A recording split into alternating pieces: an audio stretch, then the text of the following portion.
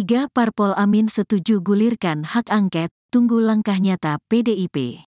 Tiga Sekretaris Jenderal, Sekjen, Partai Politik Koalisi Perubahan Pendukung Anies Baswedan Muhaimin Iskandar, yakni Nasdem, PKB, dan PKS menggelar rapat di Nasdem Tower, Jakarta, Kamis, tanggal 22 Februari tahun 2024.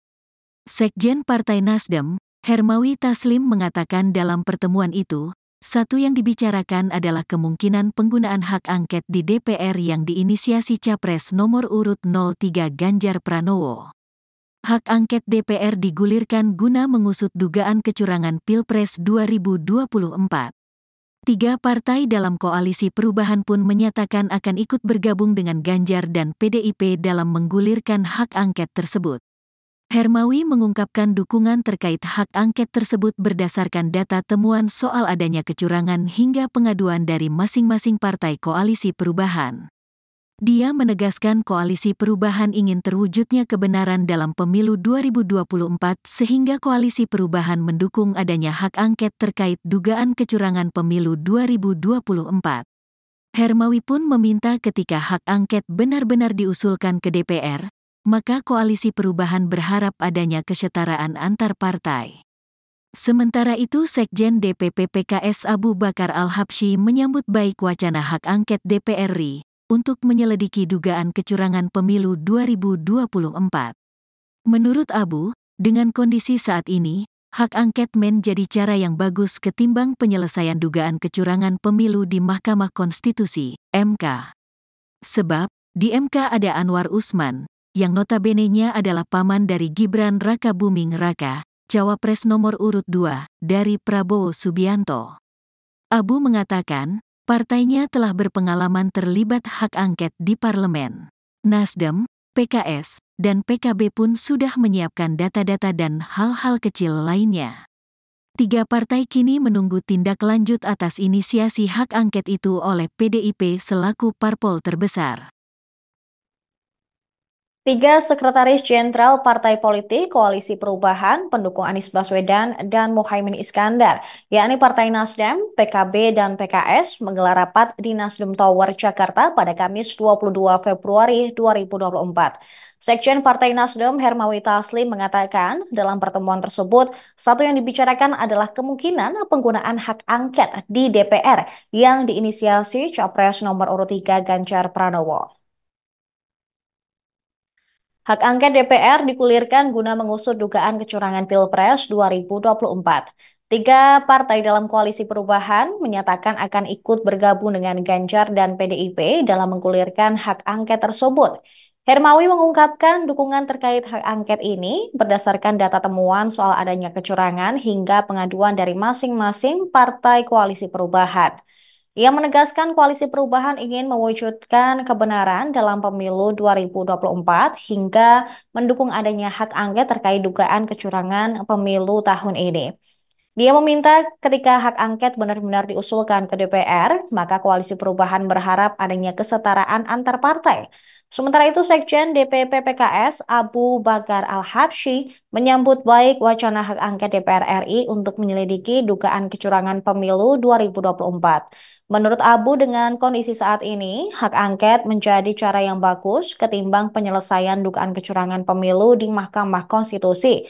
Sebab di MK ada Anwar Usman yang notabene adalah paman dari Cawapres Gibran Raka Buming Raka. Abu mengatakan partainya telah berpengalaman terlibat hak angket di parlemen. Nasdem, PKS, dan PKB pun sudah menyiapkan data-data dan hal-hal kecil lainnya. Tiga partai kini menunggu tindak lanjut atas inisiasi hak angket oleh PDIP selaku parpol terbesar.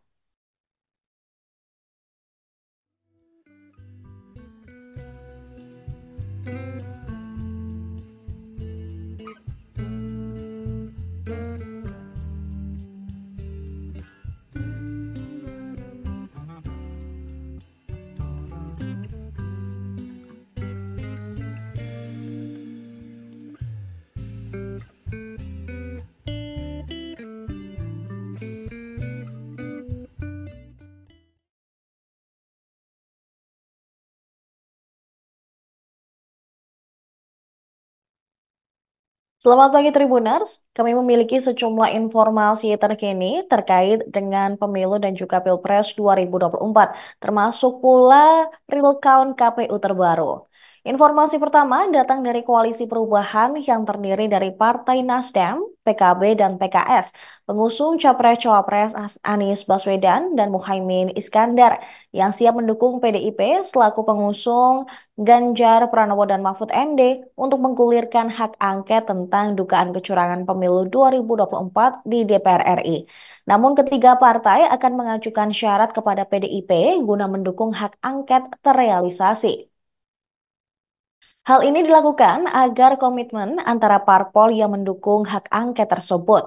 Sekjen Partai Nasdem, Hermawi Taslim, ketika ditemui di Nasdem Tower Jakarta Pusat pada Kamis 22 Februari 2024, mengatakan bahwa syarat ini nantinya akan ditandatangani bersama. Turut hadir dalam konferensi pers, Sekjen PKS Habib Abu Bakar Al-Absyi dan Sekjen PKS Hasanuddin Wahid. Menurut Hermawi, syarat tersebut diajukan agar tidak ada pihak yang saling meninggalkan alias berkhianat. Tiga parpol koalisi perubahan menyatakan siap untuk bergabung dengan PDIP menggulirkan hak angket kecurangan Pilpres 2024. Ketiga sekjen tersebut telah menggelar rapat di Nasdem Tower Jakarta pada Kamis sore. Hermawi Taslim mengatakan dalam pertemuan ini salah satu yang dibicarakan adalah kemungkinan penggunaan hak angket di DPR yang diinisiasi oleh Capres Ganjar Pranowo. Hak angket tersebut bertujuan untuk mengusut kecurangan Pilpres 2024. Namun demikian, mereka juga akan menunggu langkah nyata dari PDIP untuk menggulirkan hak angket tersebut. Nasdem, PKS, dan PKB juga telah menyiapkan data-data dan hal-hal kecil lainnya. Sebelumnya, Capres nomor urut 3, Ganjar Pranowo, mendorong partai pengusungnya untuk menggulirkan hak angket atas dugaan kecurangan Pilpres 2024 di DPR RI.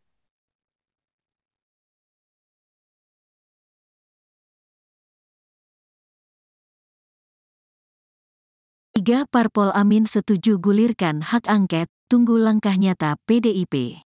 Tiga Sekretaris Jenderal, Sekjen, Partai Politik Koalisi Perubahan Pendukung Anies Baswedan Muhaimin Iskandar, yakni Nasdem, PKB, dan PKS menggelar rapat di Nasdem Tower, Jakarta, Kamis, tanggal 22 Februari tahun 2024. Sekjen Partai Nasdem, Hermawi Taslim mengatakan dalam pertemuan itu, satu yang dibicarakan adalah kemungkinan penggunaan hak angket di DPR yang diinisiasi Capres nomor urut 03 Ganjar Pranowo. Hak angket DPR digulirkan guna mengusut dugaan kecurangan Pilpres 2024. Tiga partai dalam koalisi perubahan pun menyatakan akan ikut bergabung dengan Ganjar dan PDIP dalam menggulirkan hak angket tersebut. Hermawi mengungkapkan dukungan terkait hak angket tersebut berdasarkan data temuan soal adanya kecurangan hingga pengaduan dari masing-masing partai koalisi.